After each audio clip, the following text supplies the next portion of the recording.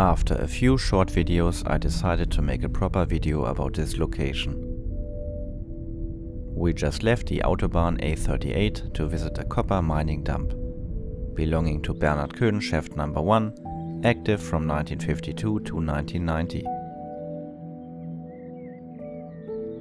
The height above the terrain is 125 meters and you are looking at 7 million cubic meters of overburden. Even though this was mainly a copper and silver mine, the type of shale that was mined here is also uranium bearing. Oh, we finally managed to reach the top again with all this garbage here. Oh, yikes. And we found some pieces that appear to be quite spicy, including this one, which is in the ground. Wow, this could be in fact the best piece. Didn't even notice this thing here when I climbed up the last time. Easy. Maybe, yeah. One microsievert per hour.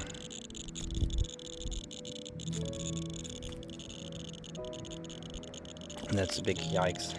So our specialized equipment, Coca-Cola and our lovely get out.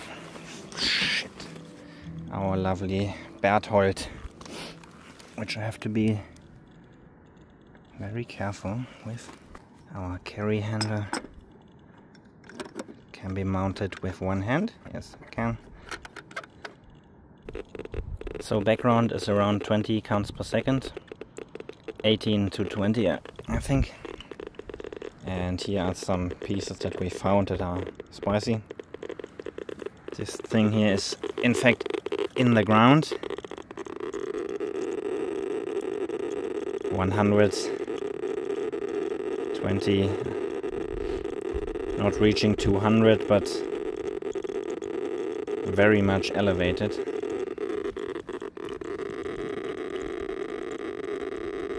Uh, almost reaching 200 counts per second. This larger piece here is reaching 200.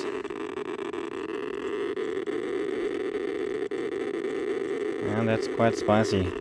We are measuring here, we're not measuring, we are counting um, gamma, x-rays and beta radiation. This tube is not alpha sensitive.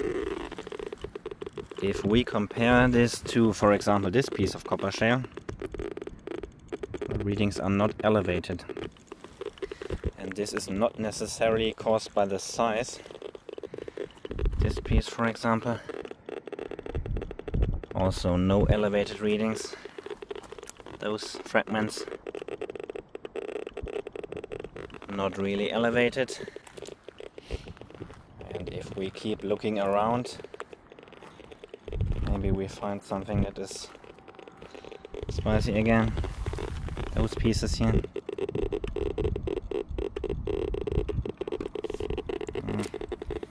Maybe very slightly elevated. So there's quite a large difference between individual pieces. And the uranium content seems to vary, vary quite a bit actually. Let's turn this off. If we use our RadiaCode to check the dose rates, we can instantly hear that the readings are elevated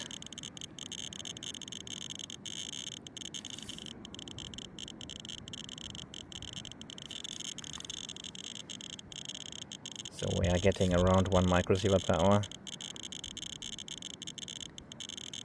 A little more, a little less, depending on the exact spot from the back side here. The readings drop a little bit. So the uranium is not evenly distributed inside the copper shale. You can see remnants of the uh, copper secondary minerals. So the next piece is this one. You can immediately hear count rate increasing 0.6 from this side and here we are getting a little bit less 0.5 this one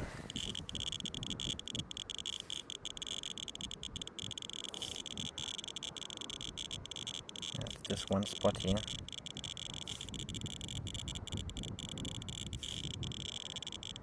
Approaching 1 microsievert per hour backside.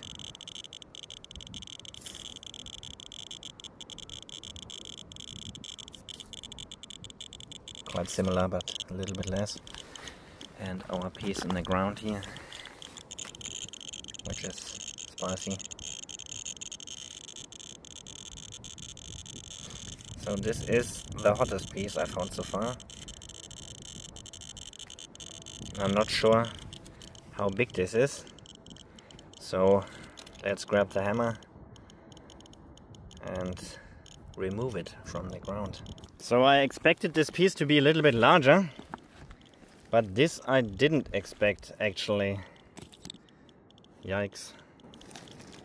And it's breaking apart as we would expect with shale. So where's the spice? 1.2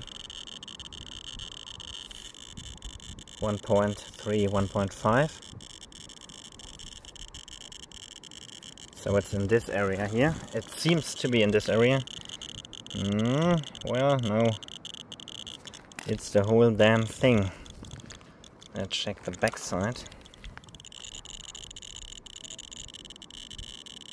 Also elevated.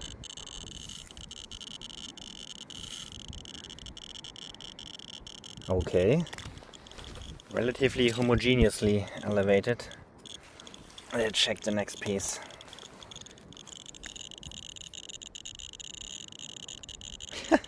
wow. Okay.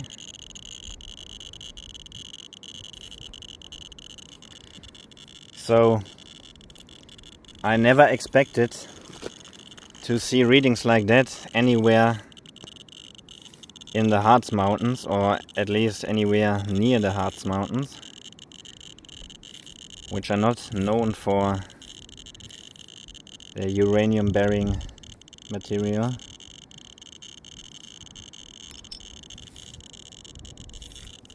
So the vicinity of Sangerhausen is known for the presence of uraninite, for example. But so far I have found nothing that comes even close.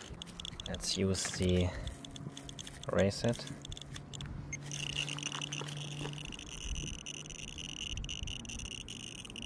So this stuff is only slightly elevated regarding the readings. But this is some hot stuff here.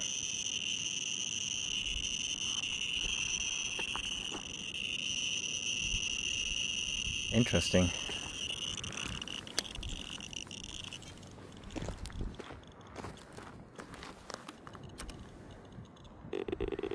Let's check the count rate. I suspect that we have to switch to the times 10 scale. But let's see.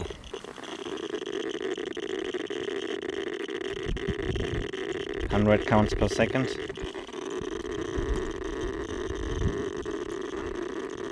Uh, we are not maxing out the scale, but 200 counts per second beta gamma x-ray combined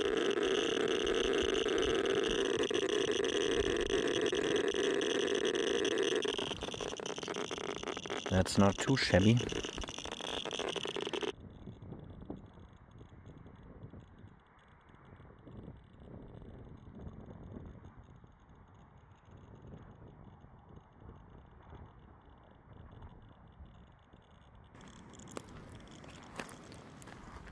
Besides copper shale, you can find gypsum in relatively large quantities on all of these dumps.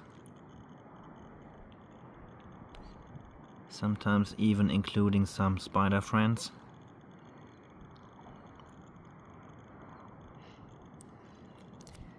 The gypsum is providing relatively good grip when climbing up, but you can also hurt yourself because those crystal-like structures are very sharp.